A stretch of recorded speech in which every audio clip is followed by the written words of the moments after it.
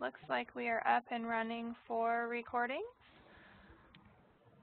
All right, we are ready to go. Thank you everyone for joining us today. And if you haven't already done so, please go ahead and check your audio. If you are experiencing any audio trouble or you don't have a headset or speakers, you can call in by phone, and I'm going to go ahead and put that information into the chat for you. It is there on the screen right now, but let me put it in the chat for you also. Okay, so hopefully that went out to everyone. And I'd like to welcome you all to the first webinar of the 2018 IGNIS season. We are thrilled to have you join us for our fifth year of IGNIS. I cannot believe I've been doing this with you all for five years, so um, kind of cool. Uh, just as a reminder, IGNIS is the Latin word for spark or ignite, and that's exactly what we are hoping to do today to ignite your curiosity and spark your intellect. This webinar series is brought to you by the Office of E-Learning and Open Education at the Washington State Board for Community and Technical Colleges. And your hosts today are myself, Alissa Sells, and my partner in crime, Mark Carbon.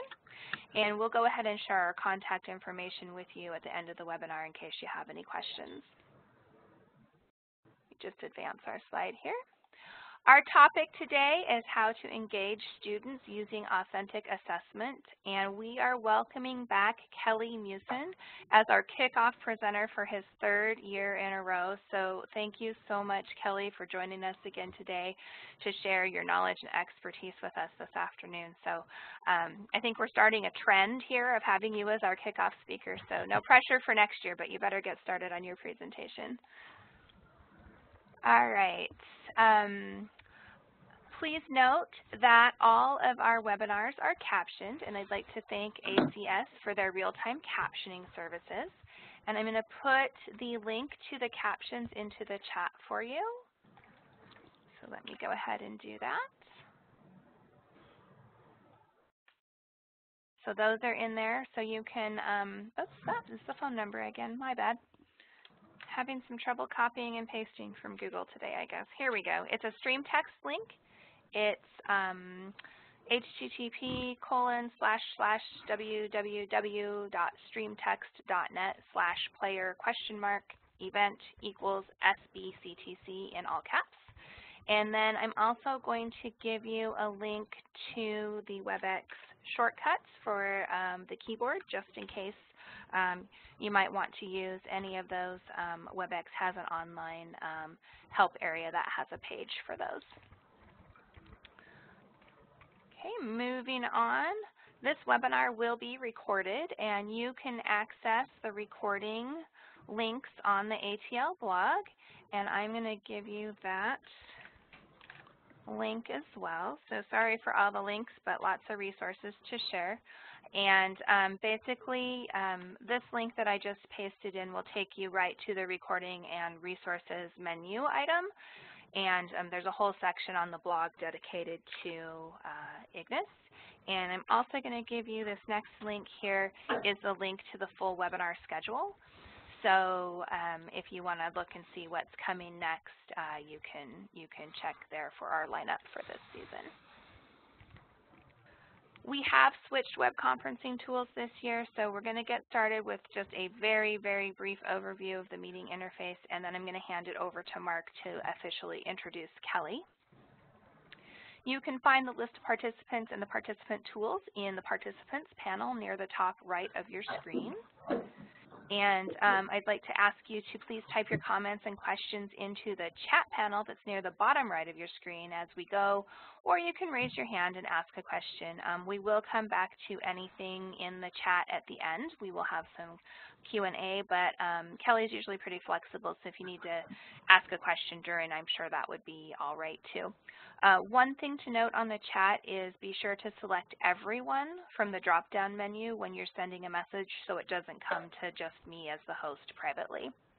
And then um, if you'd like to enter full screen, if you're having a hard time um, seeing the slides, um, there's some little expansion arrows that you can click near the top middle of your screen to enter into the full screen mode. And if you need some WebEx help, there is also um, a help link in the menu options near the top middle of your screen. And if you do get into full screen and you get stuck there and would like to get out of full screen to exit, um, just use the escape key on your keyboard or you can click on the return key that's on the pop-down menu. If you just hover um, near the top of your screen, that menu will pop down for you, and then you can click on the return key, and it will take you back to the WebEx interface. And also, um, please raise your hand um, to speak and use the microphone icon to mute and unmute your mic. We'll call on you as you raise your hand. And um, make sure to keep your mics muted so we don't get your background noise. And that's the slide that went with what I was just talking about. Sorry. All right. I'm going to go ahead and turn it over to Mark now to introduce Kelley. And um, while Mark's doing that, I'm going to go ahead and switch over and bring up Kelley's slides so we can get ready to go. All right, Mark, take it away. Oh, thank you, Lisa. Well, good afternoon, everyone. Um, I get to introduce our wonderful lead off every year, so I think it's now we're going to be required of you, Kelley. It's been appreciated. So Kelly comes from us from uh, Clover Park Technical College. And working with him with for many years and uh, does a great job down there. Um, he's the e-learning coordinator, but as a lot of them in our system, he wears many hats. And so he is uh, he provides the professional development for the faculty, specifically the areas of uh, pedagogy, learning outcome development, management, and assessment. Um, Kelley is also a uh, Canvas community coach with instruction. And he uh, also is part of the Washington State e-learning council as well. And Kelley's been teaching online since 1999. And I've been pretty much working with him ever since then. nice. And uh, he continued his studies in online pedagogy with a strong focus on universal design for learning, open educational resources, accessibility, and assessment. So thank you, Kelley, and take it away. Um, Kelley, just before you get started, um, I've lost you in the participant panel, so if you want to go ahead and grab the presenter ball and move it to yourself, since I can't find you right now, so you can control your slides. Um, yeah, it's not letting me move it. It's not letting you move it. Okay.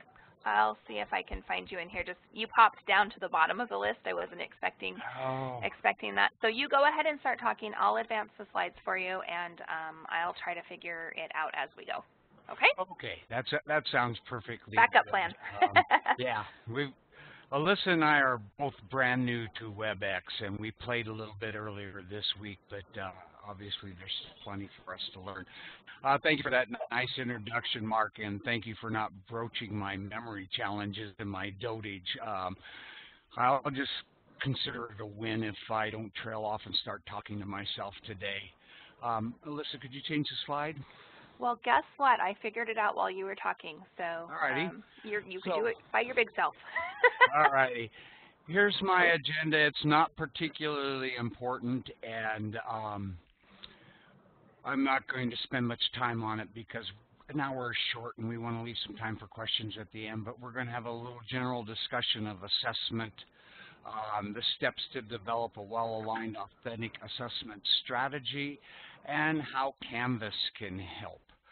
Um, obviously, I'm talking about assessment today, and that's not a big surprise judging from the title of the presentation.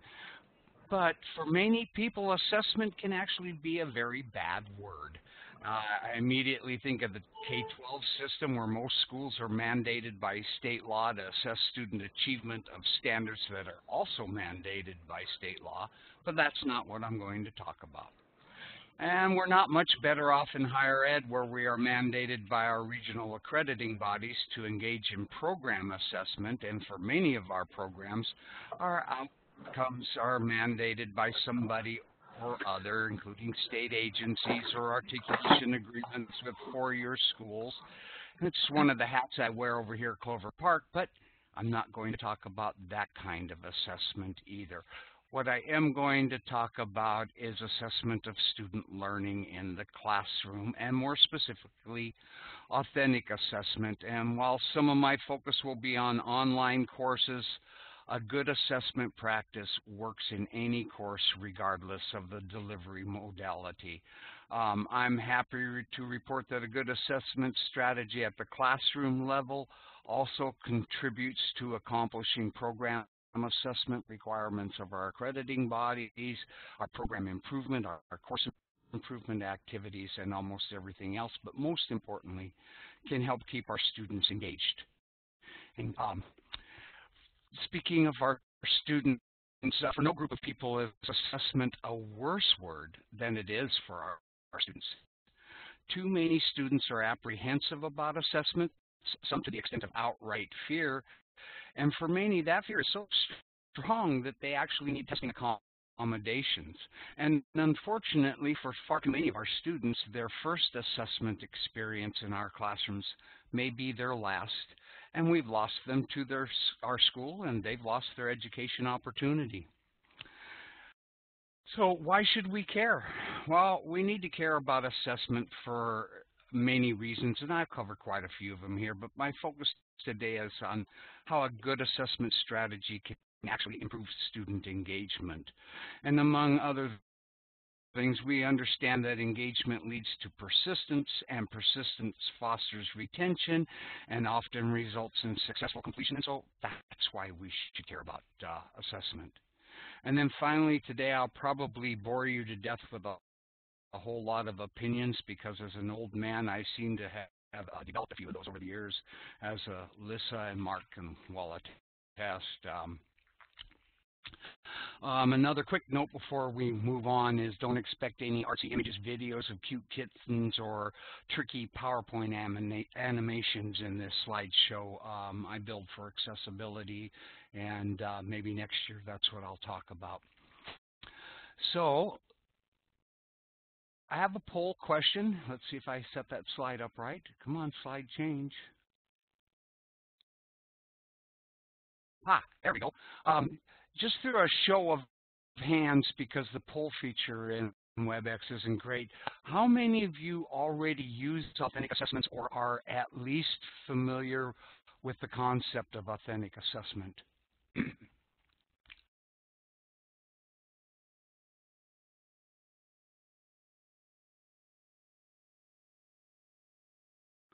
Wow. Um, I can't really tell from my end. Maybe Alissa can verify, but I don't see very many hands up. I've got um, just a handful of hands. Great. Um, so three or four?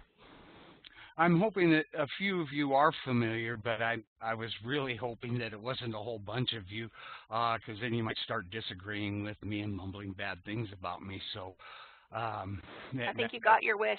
Yeah, I, am glad, you know, because um, I don't feel like an expert on most anything anymore. But uh, before I started talking about this assessment, I just would like to share a student quote. Uh, I never thought I could learn so much. I got this quote at the end of the fall term. Um, I typically get a quote similar to this almost every term. And I almost always get it from students who started out in the bottom 20% of my course at the start of the term. Um, students who uh, didn't think they could learn online, uh, aren't particularly confident about learning, um, students who for the most part think that assessment is a bad word.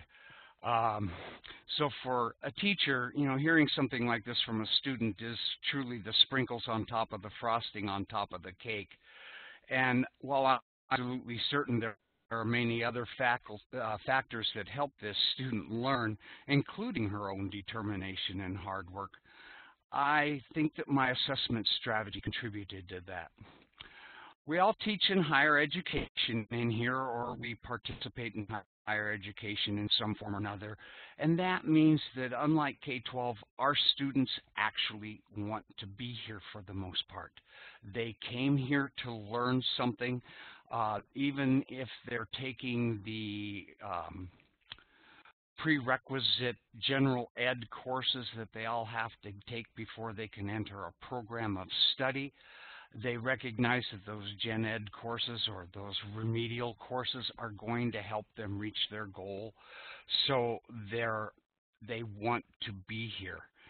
The unfortunate thing is that um, they also start out with a lot of trepidation and um, good or bad assessment can play a huge role in whether or not those students become engaged and lose that trep trepidation throughout their academic career. Um, so let's go look at how we, let's start looking at assessment and how we can make it better.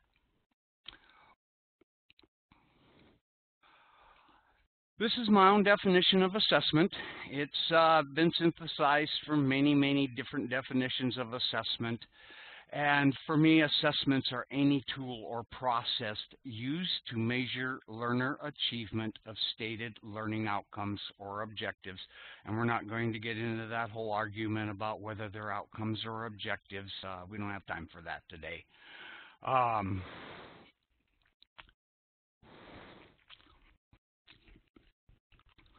but I'd like to, before I move on to authentic assessment, here's an interesting observation. I think that most of our students, and especially the older ones, have no idea what that word assessment means, and yet in higher ed and probably in K-12, we use that term all the time. So here's my first tip. In your orientations in your classrooms, whether it's online or face-to-face, -face, Tell your students what assessment means. And tell them in your own words because you'll be able to make it make better sense and connect with your students. Uh, you can use my own definition, make up your own, synthesize from other sources, whatever. But always be sure to include that part that an assessment is a measure of stated learning outcomes piece. Um, and here's my second tip. For any activity used as an assessment in your course, include what learning outcomes that activity is me meant to measure the achievement of. Uh, this is very important for your students and they know from your outcomes what they're expected to learn and they know that you've told them I'm going to measure whether or not you met these outcomes using these assessment tools. And that's a very important piece for keeping your students engaged in the course. Um, I have three definitions of authentic assessment here. I'll let you guys read it. They're from Mueller, Wiggins, and Stiggins, and I just love rhyming names. But um, these greatly support my own thoughts on authentic assessment, except um, come on, slide. I must have a um, delay in the screen transitioning. Um, but it's missing the most important part of any definition of assessment. I'm trying to get my slide to change and we'll just, I'll just keep talking and pretend it has. I don't Kelley, I'll, I'll go ahead and um, try to change that okay, you, if okay? you can change that yep. for me. The piece that I don't see in those definitions of authentic assessment is that uh, learning outcomes or objectives aren't mentioned anywhere in them. And for authentic assessment, we want to expect our students to be able to demonstrate. We should expect them to demonstrate at whatever level in a taxonomy that is appropriate and what we want them to demonstrate is that they know or can do what the stated learning outcomes tell them they should know or be able to do. And just like every other form of assessment, an authentic assessment can be both formative and summative. Um, what I want to point out too is if you've read about uh, authentic assessment in the literature, you're going to find that a lot of times the experts on authentic uh, assessment are detractors of what they so quaintly call traditional assessment. And I hope you hear that cultured sneer in my voice. Um, you know, your typical multiple guess, matching short answers, etc. types of test. The reality is that whatever kind of assessment activity it is, if it does what it's supposed to do, measure student achievement of stated learning outcomes, then it's an authentic assessment. And in many cases, what we consider to be a, a traditional assessment can be very authentic depending on the outcomes that it's measuring and depending on the structure of your course. Um, oh, I, that slide changed. Uh, good, it actually worked for me. No, it, I'm doing it for you. Oh, good. um, so just prompt me when you're ready to go to the next one. All righty. Um, what does authentic assessment look like? Well, it's a form of an assessment that in which students are asked to perform real-world tasks that demonstrate meaningful application of essential knowledge and skills. Um, to use a really silly example, um, if I had to choose a chauffeur to drive me to my next concert, uh, because I'm such a rock star, of course, um, would I choose one who only passed the written portion of the driving test? Or would I choose one that only passed the driving portion of the driving test in the state of Washington? Well, actually, I got to tell you, my choice would be to choose somebody who passed both halves of a driving examination. Not only did they could they physically demonstrate the ability to drive a car, but by having passed the written test, they could drive that car safely and obey the rules of the road and not kill me along the way. So um, that's a good example of how a traditional test, because you know our written driving tests, those are multiple choice, but they do measure our understanding of the rules of the road. So if I were to use nothing but traditional tests in my courses, um, my course, I teach medical terminology for two colleges in our system. We used to teach a lot of other things. Uh, but mostly my it's a it's a memorization course. My students need to be able to remember how to define medical terms, um, pronounce those medical terms, spell those medical terms, etc. And for a lot of those skills, they're, um, they, they can be demonstrated in a traditional assessment. But I also need my students to be able to pronounce those terms, be able to recognize those terms and apply them when somebody else pronounces them for them. So if I were to use nothing but traditional tests in my own courses, I wouldn't and couldn't measure student achievement of many of my outcomes that are beyond the memorization level. So next slide, please. Oh, you have it. Defining attributes. Ah. I'm on a different slide. Okay, that's all right. Um, I'm going to back up just a pace here, and, and uh, Alissa, you don't need to back up the slide. Uh, what does authentic assessment look like? Well, that's easy. It could be a multiple choice exam, an essay writing an assignment, a speech or a slideshow, a patient assessment, a business plan, anything, and the closer to the real uh, life activity, the better. So let's look at the defining attributes of authentic assessment. Typically, performing a task. The task you ask your students to perform should be tasks that demonstrate the level of achievement of the outcomes, whether recalling and defining a term in my own example or building some sort of contraption in the advanced contraptions program they should be real life. My real life example for my own courses would be asking my students to, to define medical terms that are used in medical reports, journal, journal articles, um, professional websites on the internet. Uh, but an automotive technology program, it might be rebuilding a carburetor. That might be the real life example. It should be a construction or an application, and that can be accomplished by asking the students to do something to demonstrate skills like researching a medical diagnosis and treatment options, or recording patient vital signs, or any number of things. The only limitation, of course, is your own imagination. And as we've all learned from the uh, great Google, examples can be found easily. Authentic assessment should be student-centered. This one is so easy. What can students demonstrate that the students know or can do? And the actual act of demonstrating helps, giving the students an opportunity to demonstrate, helps keep them engaged. And I also read that attribute as an opportunity to let students choose how they demonstrate or apply what they know or can do. Authentic assessments can allow more student choice and construction in determining what is presented as evidence of proficiency. Even when students cannot choose their own topics or formats, there's usually uh, multiple acceptable routes towards constructing a product or performing a task that still answers that question. Have they achieved the learning outcome?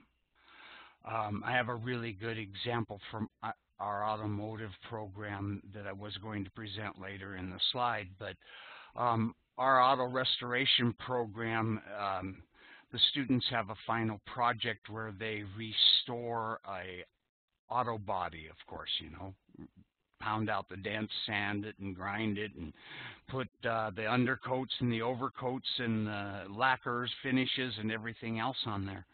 Um, but what's to say those same students couldn't choose to do that same activity for a trailer or a motorhome or a pedal bicycle or a red flyer wagon. Um, and I chose automotive because we do have a real life example. Um, several years ago for their final project, our auto restoration students chose to completely restore an antique Schwinn bike for their instructor, and I got to tell you, it turned out marvelously. And they clearly demonstrated that they met the outcomes of that program and the course that that project was in. Uh, direct evidence. Authentic assessment should provide direct evidence that the students have achieved an outcome. Poorly designed traditional assessments can often only provide indirect evidence, you know, those multiple choice questions with the silly distractors.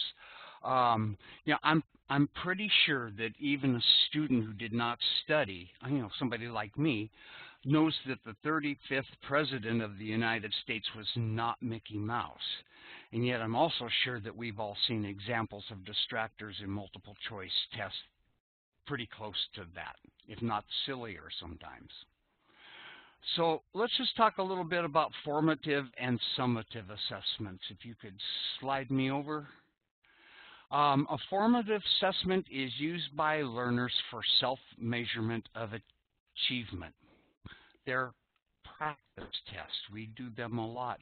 But formative assessments are also used by teachers to measure student learning. How well are my students doing on the practice uh, activities that I'm providing?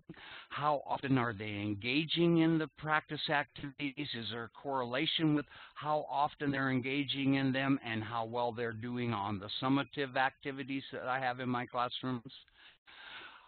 Formative assessments also measure the effectiveness of instruction and the instructional materials and activities that we include in our class.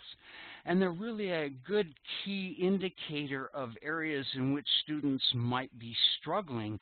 And if you use lots of formative assessments, they can indicate where there are problems before the students actually get to the stage of a, of a high-stakes summative assessment, and maybe you can adjust the delivery of instruction, the instructional materials, the instructional activities, even just sending out a communication that clarifies a point that students are sticking on.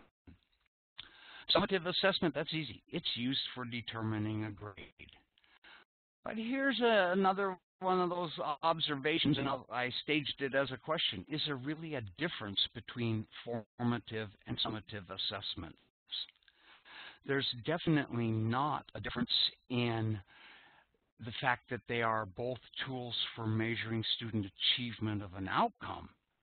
And the only real difference is we use those summative assessments for determining a grade. But I've got to tell you, I know a lot of examples of faculty who are not using summative assessments at all for determining grades. They're using formative activities in a collective way to determine a student's grades. So let's move to the next slide. The goals of assessment. Um, I put this list in order of importance for me. You know, since it's uh, part of my job, I have to consider that final bullet point, you know, satisfy internal and external stakeholders. Um, we just became a guided pathways school, so um, assessment's going to play a huge role in that. But to me, um, anything that has to do with compliance, regulations, et cetera, et cetera, is always at the bottom of my list. The very first goal of assessment is to help students learn and provide them with an opportunity to demonstrate their learning. Assessments measure learner achievement of the outcomes, and it measures it for both the students, the teachers, and other stakeholders. And assessment can help faculty determine grades, improve their curriculum, and their instructional delivery, all part of this program assessment that all of the colleges in the state have to go to. So let's go change slides here. I think I have a poll question coming up. Um, one of the things that's very disengaging for students is the practice of um, very few assessments and the few that are included being high stakes assessments. How many of you depend on or are required to use high stakes assessments in your courses? And by high stakes, I mean um, a midterm and final exam, and you're mandated by your program that those assessments account for 40% of a student's grades. How many are you in are in that position or choose to be in that position? Give me a show of hands. And I'll let Alissa tell me where the vote came in. Well, right now we only have one hand up, so um, looks wow. like yeah. Excellent. Um, I mean, I, I was hoping for more actually because we see a, the use of a lot of high stakes assessments in, in higher education. And maybe that trend is starting to uh, fall apart. I work for a, a technical college. And for many of our programs, our curriculum is somewhat mandated by outside agencies. For example, our nursing program, their requirements are set, set by the state nursing board, and they're required to use high stakes assessments. And those assessments have to count for a specified percentage of a student's grade, which can be huge. So uh, and I teach for healthcare programs for my medical terminology courses, and I'm required to use a final, and my final is required to account for 40% of my students' grades. And this can be very disengaging for a student to, you know, know that they've spent 10 weeks or 11 weeks working through the materials in the in the course, and they're doing fairly well um, whatever little graded activities have been included, they've done fairly well on them. And then all of a sudden, in the final week of the term, they're expected to suddenly be able to remember everything. And the better of us will provide a review period and some review materials for our students. But, you know, typically those are made available just before the high stakes exam and that forces the students to cram everything at the last minute. Um, even your more prepared students are going to be cramming. And we, I think we all understand that when you cram, you're not really going to have any sort of long-term memory. And I teach in healthcare, so the stuff that um, I'm teaching my students, I want them to remember it throughout the rest of their academic career when they're in their actual healthcare programs. And I would really like them to be able to remember that when they go out and work in the industry because, you know, I'm old, they may be providing healthcare to me at some point, and so I hope they remember all of this important stuff. So a lot of us don't have a choice but to use high stake exams. But um, a good assessment strategy and a strong use of formative assessments throughout the term can actually prepare students for those high stakes exams and set them up to succeed in them um, and, and set them up to not fear them, uh, to be able to walk into them thinking that, uh, assured that they know what they're, they know and that they're going to do well. Um, hopefully as we look at assessment strategies in part two, uh, I'll be able to demonstrate this to you. So next slide. Oh, where'd that slide come from? Ah, what activities can be considered assessments? Oh, okay. I that was the next slide, Kelley. yeah, I know. I um I watch the screen too much and not my notes enough, I guess. So of course, test quizzes and exams, oh my. Discussion forums, I use a lot of those for assessment. Blogs, social media, any assignment, homework, worksheets, etc. Any writing activity from grammatical diagramming to full-blown essays, short stories, doctoral dissertations are an assessment. Um, coding a program, restoring a car, repairing a television, injecting a medicine, styling hair, welding a pipe together, recording audio or video, performing an interview, capstone projects, group works, etc., etc., etc. I hope I made that point clear that everything can and does measure student achievement if you set it up that way in your classrooms. So don't let yourself think of assessment only as a quiz, a test, an exam, a final project, a capstone essay.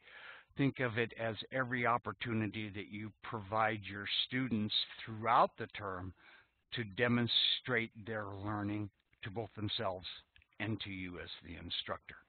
All right, next slide. So how many of you understand the concept of curriculum alignment or are familiar with it? Uh, go ahead again and raise your hands, and I'll give a couple minutes here. And I, I see Claveri's got his camera on. He's moving over to click something on the screen. Yeah, lots of hands going up. Lots of hands, and this yeah. is this is good. Um, go ahead and, and, and switch the slide. This is this is actually very good because this is incredibly important. Um, Essentially, alignment means that all the course components work together to support achievement of the stated learning account outcomes and that all assessments measure the achievement of those learning outcomes. Quality Matters is very big in our state community and technical college system, so it doesn't surprise me that a lot of you were familiar with alignment because it's, it's um, a key component of the Quality Matters rubric and standards. Um,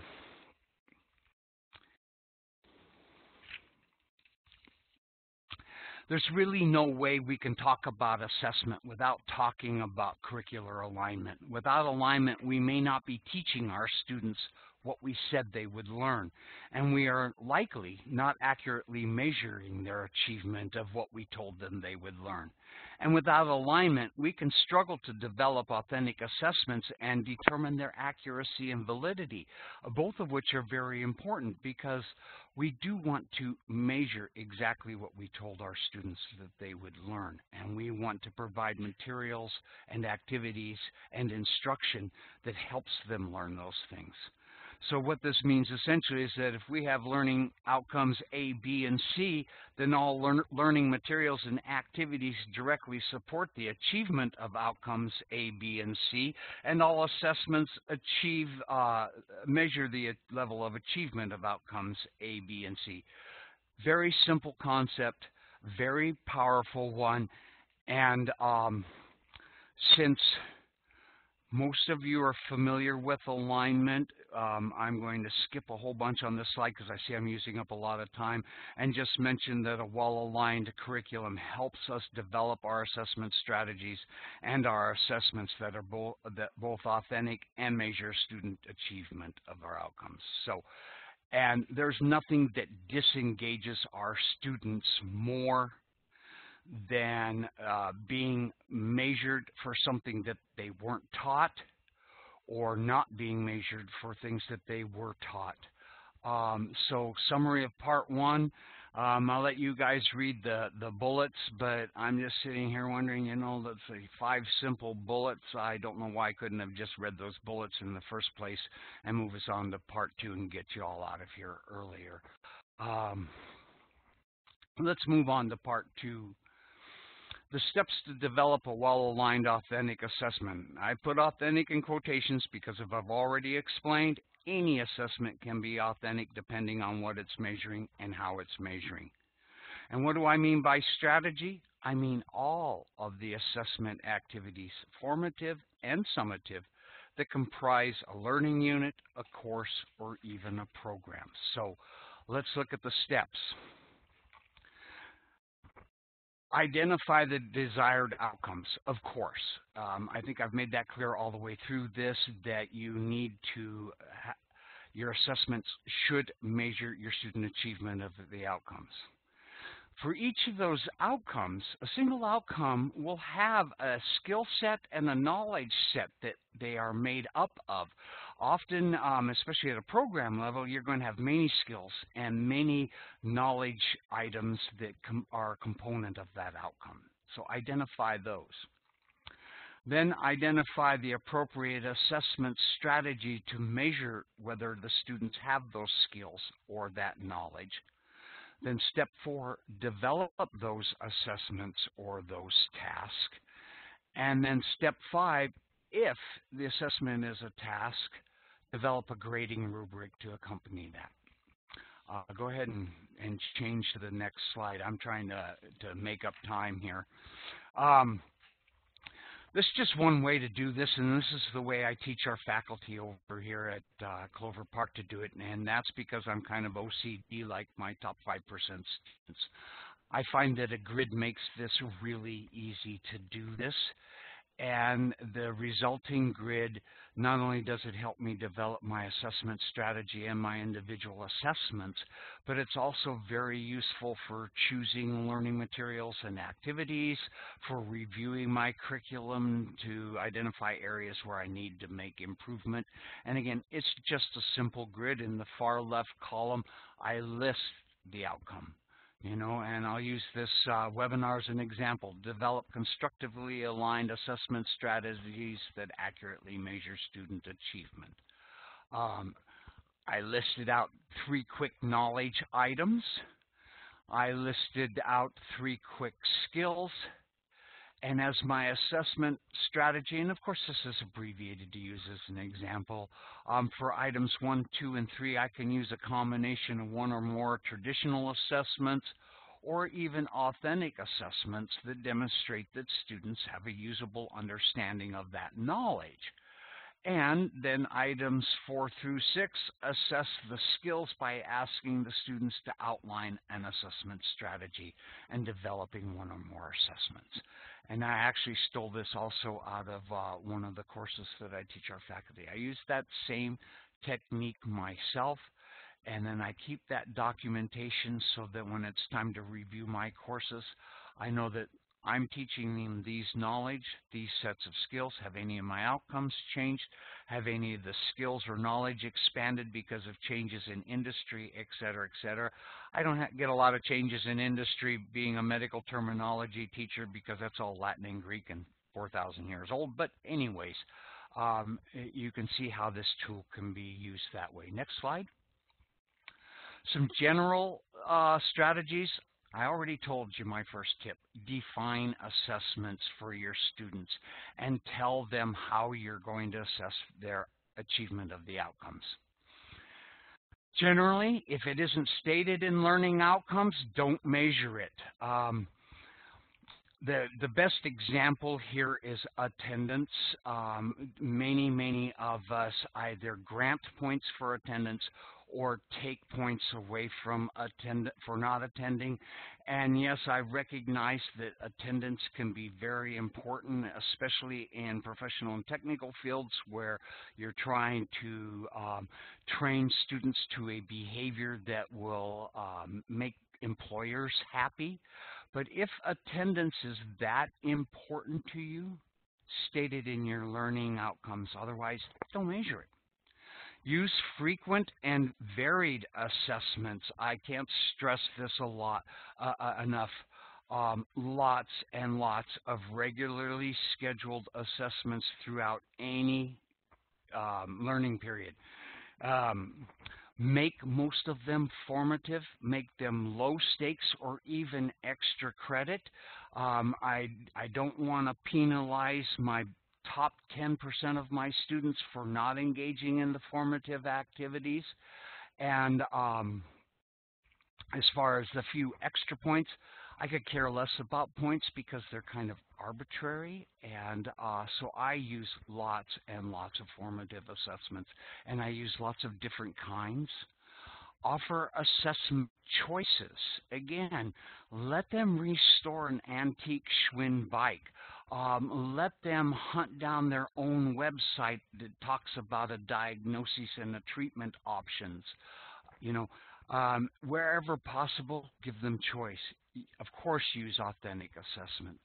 Include lots of formative opportunities, and again, alignment, alignment, alignment. Make sure that you're measuring exactly what you told your students they would learn.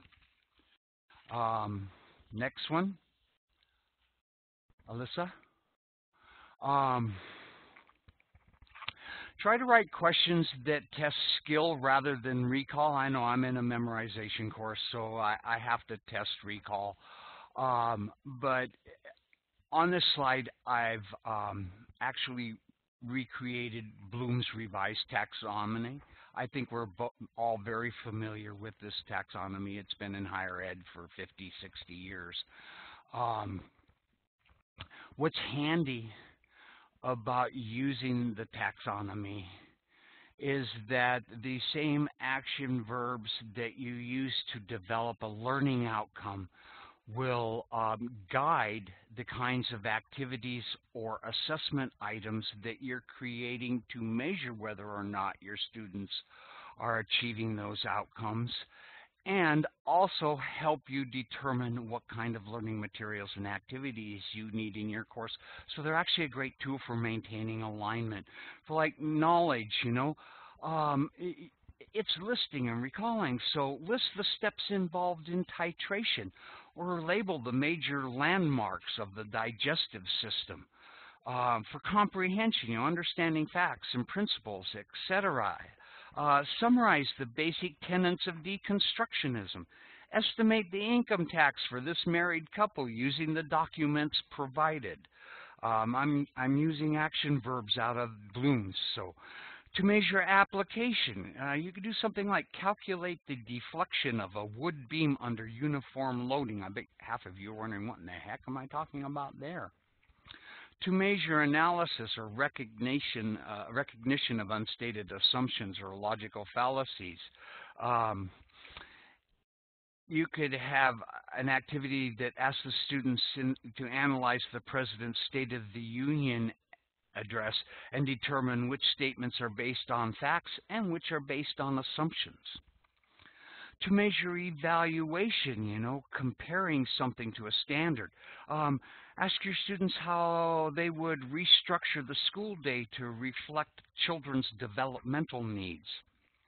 To measure creation, um, ask the, you know, students to uh, create some entirely new idea or system or describe or discriminate in, in systems.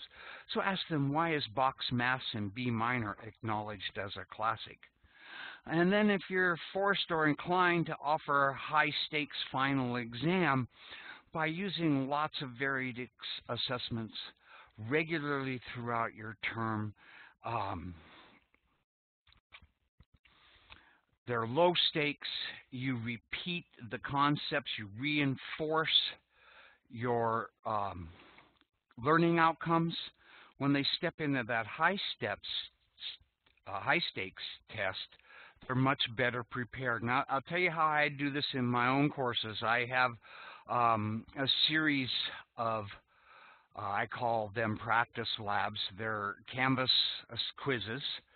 Um, they're usually rather extensive and they're set to be taken as often as they the students like and they don't count towards their final grade. And the items in these are organized by anatomy, physiology, um, treatment options, etc. Um, every item in those practice labs uh, points directly to a learning outcome in my course. And those items are repeated several times, and again, the students can take those as often as they want. And for each module, I include a spelling quiz and a module exam. And the items from my spelling quizzes and my module exams are taken straight from my practice labs. And at the end of the term, my final exam, every item in my final exam is taken straight from my module spelling quizzes and module exams. So by time students get to my final exam, they have seen every item at least two or three times and often more with various small assignments and things that I throw in there. So they're prepared when they get there. And do I know it works? Um, yeah, 68% of my students in fall quarter achieved in a in a very rigorous course. So um, I, I, I think that it works, and um, I hope to hear back from some of you if you uh, do some of this that um, it's working for your students too. Now I have a third part. Let's go to that really quick. Um, how can Canvas help? Let's do another quick poll. Are all of you Canvas teachers? Hold up your hands. Let us know if you're Canvas teachers. And that will really help me know how far to go and how deep to go in this. What do you see, Alissa? Um, you've got um, several hands up, almost everybody. I think there's just one or two okay. that don't have their hands up. All righty, so I'm just going to talk about the Canvas tools really quick. I mean, we're all familiar with the quizzes, but they are incredibly eh, flexible and um, they have a variety of item types. The quizzes next tool will have an even more item types. Um, you can make them not count towards a student's grades. You can make them count whatever kind of point scale you want. You can let students make multiple attempts. Um, in the new quizzes LTI that Canvas is coming out with very soon, they'll have stimulus items where you can have a, a, a page of text, an image, a video, something else, and have a set of questions associated with them. Great tool for both formative and summative assessments. Canvas discussions, I already mentioned that I use Canvas discussions very heavily in my course, and I usually uh, use them to um, give my students an opportunity to apply what they've learned about medical terminology and demonstrate their understanding through conversations with their classmates. I send them on field trips. I have them I evaluate information. I ask them to express opinions and find supporting documentation and research. So lots. Canvas assignments uh, with all the different submission possibilities in Canvas assignments and the fact that you can just create an assignment as a gradebook column provides an incredible amount of flexibility for using them as an assessment tool, including using them as an assessment tool for something that is demonstrated in a physical classroom or at a clinical practicum site or while they're sanding the paint off of an old car. And then Canvas grading rubrics support that flexibility that's in uh, our assignments. Um, I have a cosmetology program that creates rubrics for observing students styling and cutting hair. And then the, um, our, the faculty will stand there with an iPad in their hand, watching the students demonstrate their skill and just working their way down that rubric, going tap, tap, tap, tap, tap. So that rubric is giving them an opportunity to objectively grade that student and give that student almost instant feedback on how well they did. Our nursing faculty do that same to assess students performing patient assessment or when observing clinical practice activities on site.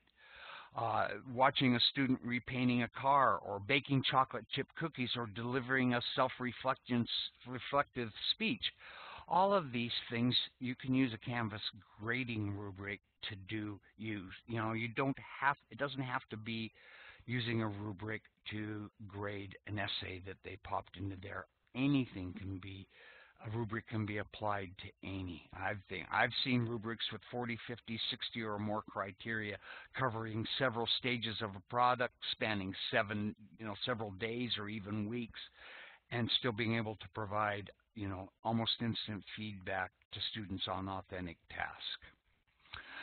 So a well-aligned curriculum, the students know what they uh, will be learning and how their learning will be measured through the use of lots of formative assessment opportunities. They have ample opportunities to practice and measure their own learning and become better prepared for our high stakes exams. And through the use of variety of assessment types and opportunities for choice, they get opportunities to demonstrate their learning in a way that makes better sense to them and it really doesn't get more engaging than that. So um, I'm going to open this up for questions.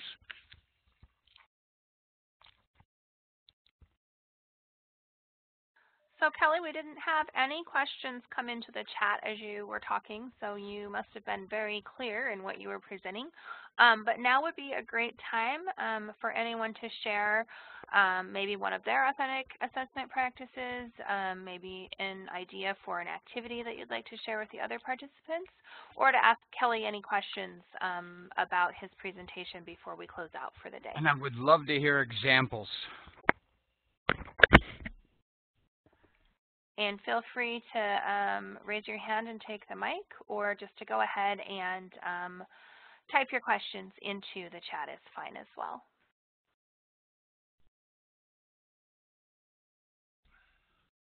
Alissa, you um, took back the little ball that makes you present. Could you change to the next slide real quickly? Sure.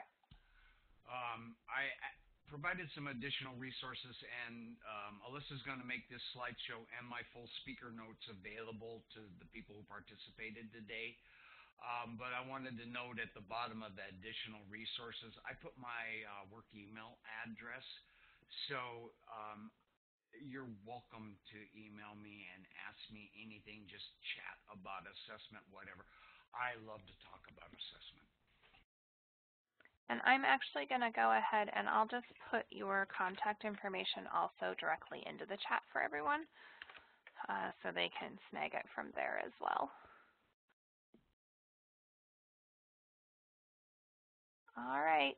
Doesn't look like um, we have any questions. We do have a comment. Uh, Kelley, thanks for your varied recommendations and for the authentic assessment toolbox. That was from Peg, so um, she's thanking you for sharing that. Well, that Authentic Assessment Toolbox is an awesome site. So Yeah, it's pretty cool. I've looked at it um, before, so yeah. All right, um, shall I go ahead and close this out then since we don't have any questions? Okay, I'm going to go ahead and um, switch back to our slides um, from our introduction, and I just wanted to let everyone know that um, we have another, our second IGNIS um, for the 2018 season. Our second webinar is coming up on Thursday, April 12th. And um, that webinar will feature Stephanie Delaney. Uh, she's the Dean of Academic Programs at South Seattle College. And she'll be talking to us about managing difficult conversations in the online classroom. So please be sure to watch for announcements for that and um, join us um, in a few weeks. Uh, the webinars are on selected Thursdays throughout um, the fall and into early summer. So um, watch for us at the 2 p.m. time.